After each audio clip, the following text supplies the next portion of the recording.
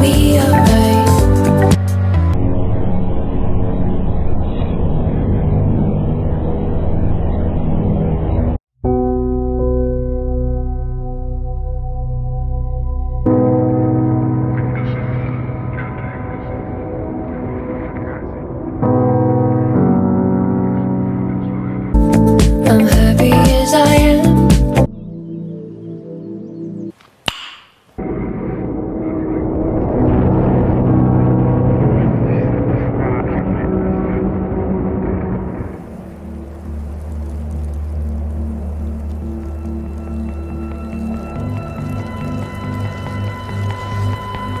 Immersed or engaged, and that's going to have positive effects on people's enjoyment.